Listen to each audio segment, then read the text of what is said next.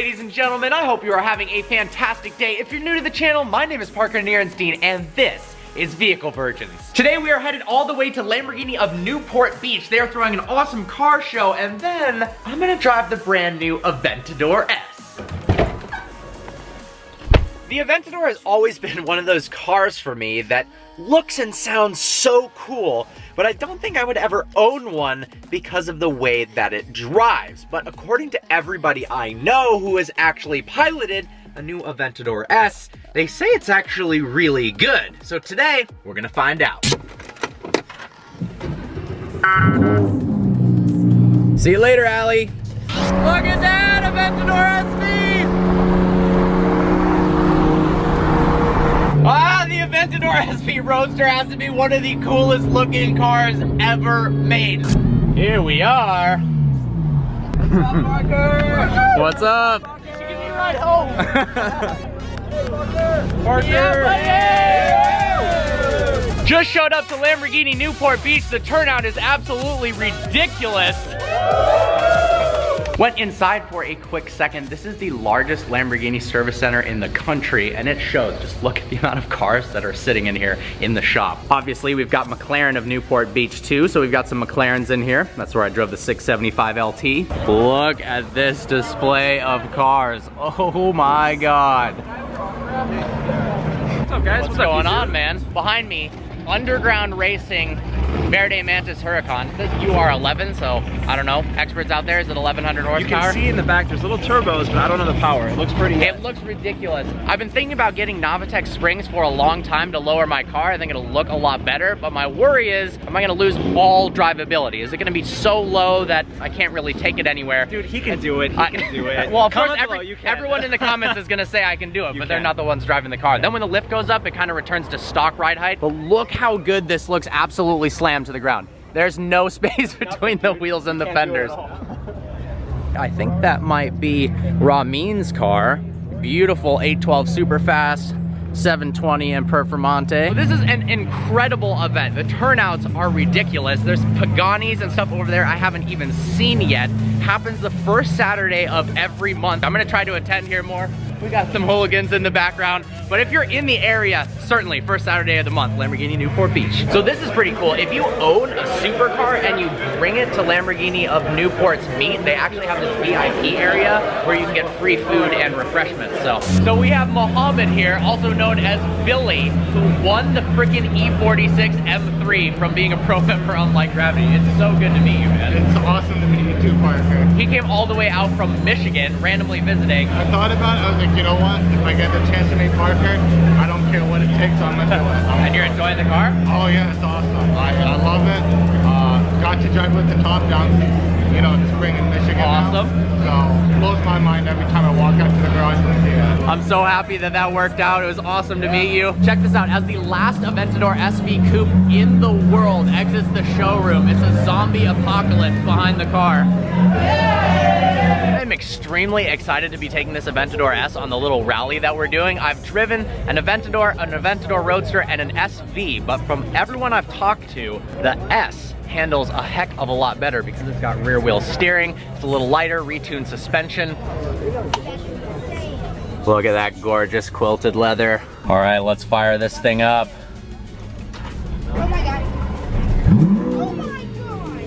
How wild this Aventador looks with what I believe is the DMC body kit. Wow, love those Pura wheels too.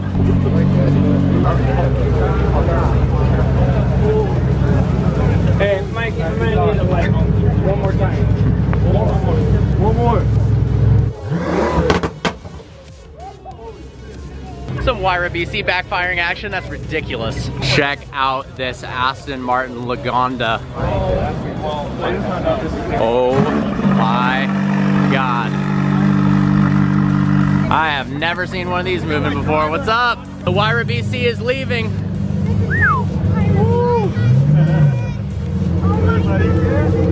This is the only situation where nobody is paying attention to this ridiculous event. Uh, Actually, people are.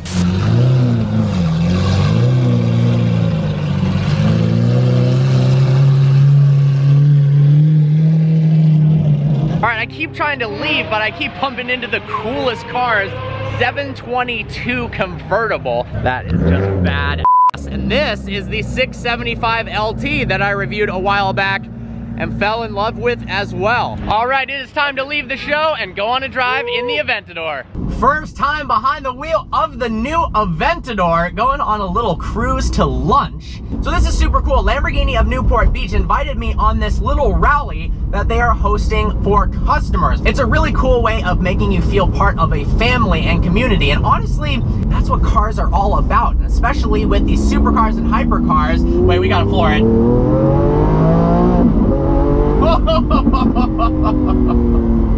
They also host track days where you can learn how to drive at thermal with professional instruction so you can get the most out of your car. Freaking awesome. We got Nick from VF over here. All right, we go left and then we go on to 405 South. Okay, I'm following you. Oh boy. If you guys haven't seen my review yet, it just went live on the hypercharged VF Performante. That thing has a smaller V10 and it would absolutely smoke this Aventador S in a race. In this video, we are going to be talking about five insane features of the new Aventador S. One of which, of course, is that monstrous six and a half liter V12 in the back. Naturally aspirated, one of the best sounding motors ever created. And with the S, we've got some changes over the standard Aventador that make it sound even better. For one, the red line has been increased from 8,350 RPMs, which for any normal person or anyone really, that seemed to be plenty, all the way up to 8,500 RPMs. We've also got an additional 40 horsepower, a new exhaust, and that means... Oh! Second up is that ridiculous... Oh my god! Single clutch gearbox. In this day and age, everybody has moved on to double clutch transmissions. But in the Lamborghini Aventador, Lamborghini claims that there's not enough space to fit a DCT unit. So they've still got this single clutch. The single clutch ISR gearbox is able to shift in just 50 milliseconds. But what it's really good at, oh my God, it actually feels like the car is braking every time you shift gears. It makes the experience driving this just, oh my. This is gonna be just one giant video of me screaming. That's what I feel like this is video has become. Another crazy feature of the Aventador S is the presence of a fourth driving mode. So we've got Strada mode, which is boring and you shouldn't use it. Sport, which tightens up the steering, the suspension, the throttle response. Corsa, which snaps your neck between shifts. And Ego mode. Yes, that's right. There is a fourth mode, and it is called Ego mode. What is that? Well, it's actually just an individual mode where you can custom tailor it to your settings so you can change the steering independently from the suspension and the throttle response. Pretty cool little touch, nothing new. Audis and BMWs have had that for years, but it's a nice addition to the three modes we had before. This has to be the craziest feature on the Aventador S. Not because it has any sort of performance benefit or it's cool, lightweight, cutting edge technology, because it doesn't really make any sense. The Lamborghini Aventador S has stop start. That's right, when you come to a stop for a long enough period of time, the engine shuts off.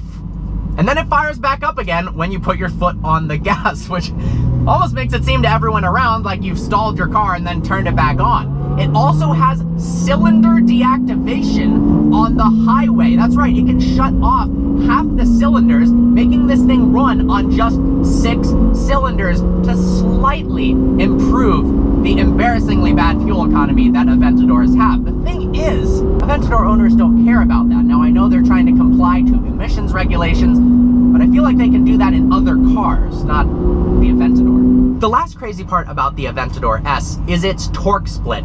In sport mode, we can have up to 90% of the power going to the rear wheels. That's right, it is almost a rear wheel drive Aventador. How cool is that? In Corsa mode, it's 80-20. In Strada mode, it's 40% in the front, 60% in the rear. The fact that in Sport, it's 10 and 90, that's wild. Woo! Nothing like rolling in a group of Lambos. Listen to the crackles! Oh my God! This thing is ridiculous.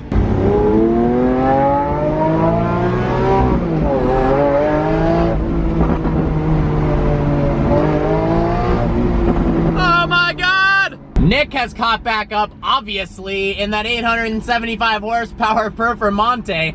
I want to see these bad boys take off. Are they gonna do it?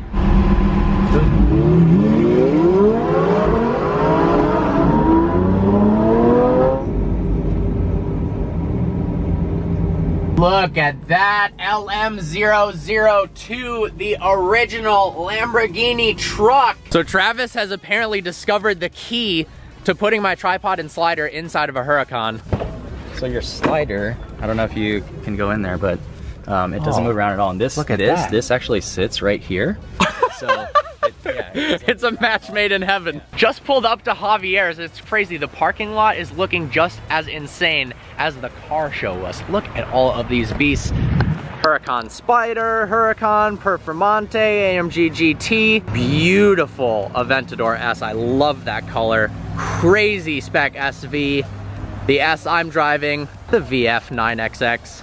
Just got done with a fantastic lunch, I gotta say. Being able to do this in a car feels pretty awesome. We are headed out to find a cool spot to start the review, which will be the video following this one. So if you want the in-depth, super detailed, my opinions on the Aventador S, you gotta watch that one. I can't get over how cool the Lambo truck is. Urus versus LM002 head-to-head, Lambo Newport Beach, we better make that happen. Got a 720S behind us. If you were to get into a race of a new Aventador S versus a 720, the 720 would absolutely walk away. A big reason being, 720 weighs almost a thousand pounds less than a US spec Aventador. That's right, these weigh about 4,100 pounds, which is pretty heavy. Well, I think this is a perfect place to end this video as I'm about to start filming the review. If you're not part of the Vehicle Virgins family yet, smash that subscribe button, turn that notification bell on because the review on this thing is absolutely going to be ridiculous. I'm going to go over every aspect of the Aventador S and decide whether the new generation Aventador is actually worth buying. Look forward to seeing you next video.